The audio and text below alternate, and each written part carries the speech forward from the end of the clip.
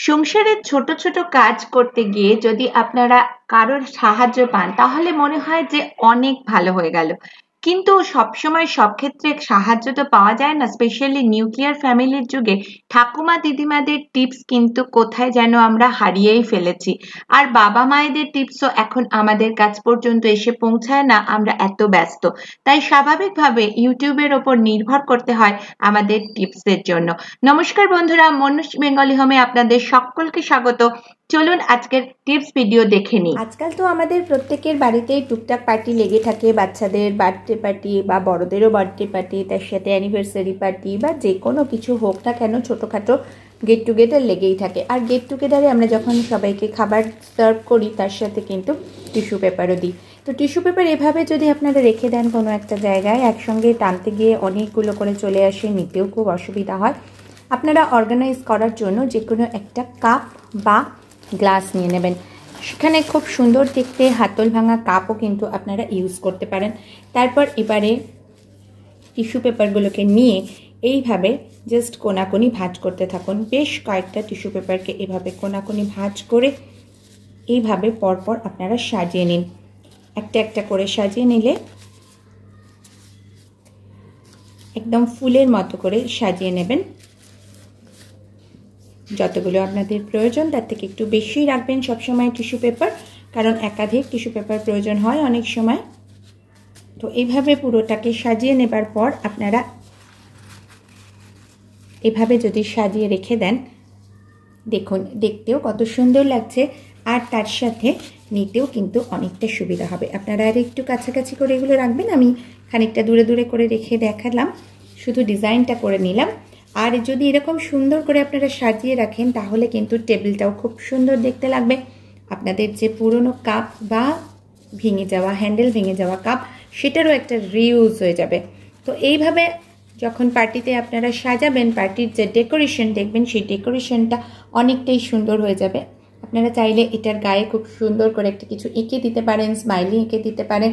তার সাথে এটাকে এইভাবে সাজিয়ে আপনারা টেবিলে রেখে দিন। তাহলেই কিন্তু আপনাদের এই টিস্যু পেপারের প্রবলেমটাও যেমন সলভ হবে, সেই সঙ্গে টেবিল ডেকোরেশনটাও খুব সুন্দর হয়ে যাবে। এই টিপসটা আপনারা ফলো করে দেখুন হান্ড্রেড পারসেন্ট কাজে আসবে। আমরা সবাই সবসময় চেষ্টা করি আলমারিতে জিনিসপত্র যতটা সম্ভব অর্গানাইজ করে রাখতে, কিন্তু একাধিক লোকের জিনিসপত্র যখন একটা আলমারিতে থাকে, তখন বিভিন্ন মানুষের জিনিসপত্র নেবার পদ্ধতির উপর ডিপেন্ড করে, সেগুলো কিন্তু একটু আধটু খুঁজে পেতে অসুবিধা হয়। আর সব থেকে যেটা অসুবিধা হয়, সেটা হচ্ছে মোজা। মোজার একটা পেয়ার খুঁজে পাওয়া যায়, তো আর একটা পেয়ার খুঁজে পাওয়া যায় না। এরকম অসুবিধা এড়ানোর জন্য আপনারা মোজাগুলোকে খুব ছোট্ট করে ফোল্ড করে নিন। এইভাবে জাস্ট রোল করে এর যে এন পয়েন্টটা এন পয়েন্টটাকে এইভাবে ঢুকিয়ে দিন এটার মধ্যে। তাতে কি হবে? দুটো মোজা একসাথে হয়ে গেল। এবার এই মোজাগুলোকে যে কোনো একটা বাক্স নিয়ে নিন। আপনারা পুরনো জুতোর বাক্স নিতে পারেন। তার ভেতর সুন্দর করে একইভাবে এই মোজাগুলো বিভিন্ন রকমভাবে এই বিভিন্ন ছোট ছোট করে এইভাবে রোল করে করে আপনারা গুছিয়ে রেখে দিন। প্রত্যেকটা পেয়ার প্রত্যেকটার সঙ্গে থাকবে, যখনই এটাকে কাচবেন, কাচার পর যখন আবার তুলবেন, প্রত্যেকটা এইভাবেই আপনারা রোল করে করে যদি রাখেন, তাহলে দেখবেন কোনোদিনও মোজার একটা পেয়ার খুঁজে পেতে কোনো অসুবিধা হচ্ছে না। স্পেশালি বাচ্চাদের মোজা যেগুলো খুব ছোট সাইজের, সেগুলো খুঁজে পেতে যত আমাদের অনেকটাই বেগ পেতে হয় স্কুলে যাবার সময় তাড়াহুড়োতে।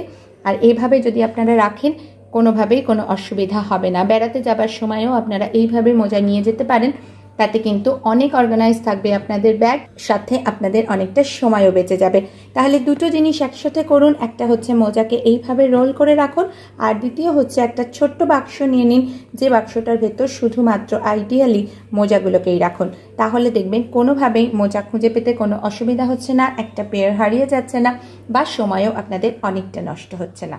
আজকাল বিভিন্ন কাজের জন্য আমরা মাস্কিং টেপ তো বাড়িতে ব্যবহার করেই থাকি, কোনো লেবেলিং করানোর জন্য বা সেলো টেপের অল্টারনেটিভ হিসাবে। যেহেতু মাস্কিং টেপ অনেক বেশি শক্তপোক্ত হয় কোনো জায়গায় লাগালে, আর দ্বিতীয়ত মাস্কিং টেপ ইউজ করাও খুব সোজা, হাত দিয়ে টানলেই এটাকে ছিঁড়ে দেওয়া যায়। তাই মাস্কিং টেপের ব্যবহার কিন্তু ক্রমশ বাড়ছে। কিন্তু এটা দীর্ঘদিন যদি বাড়িতে রেখে দেওয়া যায়, আঠাটা জমাট বেঁধে দেখবেন কাগজটা শক্ত হয়ে গেছে। তখন আপনারা কি করবেন এটাকে নিয়ে? সেই মুহূর্তে জাস্ট নিজেদের মাইক্রো ওভেনটাকে খুলুন। খুলে তিরিশ সেকেন্ডের জন্য আপনারা রেখে দিন মাইক্রো ওভেনের ভেতরে।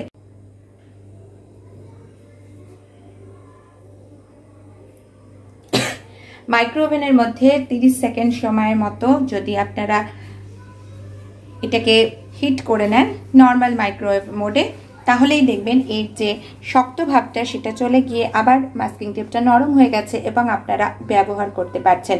এই টিপসটাও কিন্তু আপনাদের অনেক কাজে আসবে। আমরা চলে যাব পরবর্তী টিপসে মোবাইল তো এখন আমাদের রোজকার প্রয়োজনে সবসময় লাগে। আমরা মোবাইল সর্বক্ষণ ব্যবহার করি। আর মোবাইলের চার্জারও ব্যবহার করতে হয় আমাদের। তবে মোবাইলের চার্জারগুলো এখন যেরকম একটা সফট টাইপের চার্জার হয়, সেগুলো কিন্তু খুব তাড়াতাড়ি ময়লা হয়ে যায়, দেখবেন। যেমন এইটা, দেখুন, তারটা প্রচুর ময়লা হয়ে গেছে, একদম কাছ থেকে দেখাচ্ছি আমি। চার্জারটাও, দেখুন, অনেকটা ময়লা হয়ে গেছে। তো এই ময়লা চার্জার পরিষ্কার করার জন্য আমরা তো সাবান ব্যবহার করতে পারব না, যেহেতু এটা ইলেকট্রিক্যাল গ্যাজেট তাই আমরা ব্যবহার করে নেব। টুথপেস্ট আপনারা যে কোনো টুথপেস্ট ব্যবহার করতে পারেন। আমি লাল টুথপেস্ট ব্যবহার করে সাদার উপর দেখাচ্ছি যাতে আপনাদেরকে বোঝাতে পারি। খুব সামান্য পরিমাণ টুথপেস্ট নিয়ে নিন আপনারা।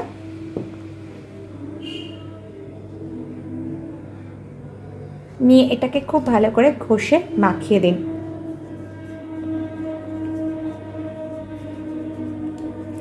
যেখানটা আমাদের পয়েন্টটা এটা থাকে, এটার চারপাশটা খুব সাবধানে মাখাবেন যেন ভিতরে না ঢুকে যায়।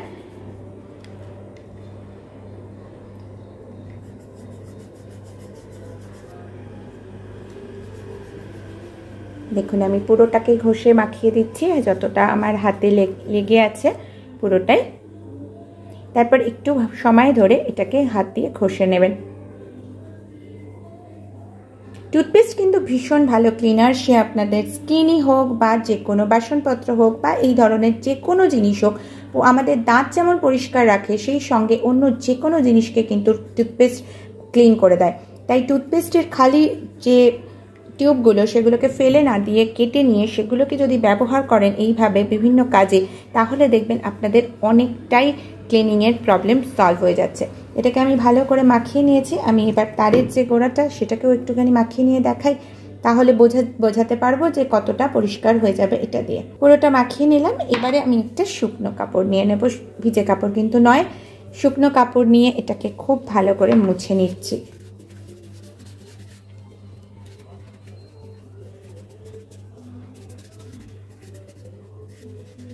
ভালো করে মুছবেন, না হলে এটা কিন্তু আঠা আঠা হয়ে চিটচিট করবে, তাই শুকনো কাপড় দিয়ে একদম ভালো করে এটাকে মুছে নিলাম।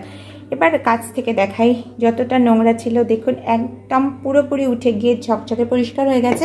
এই ওয়্যারটাকেও আপনাদেরকে পরিষ্কার করে দেখাই।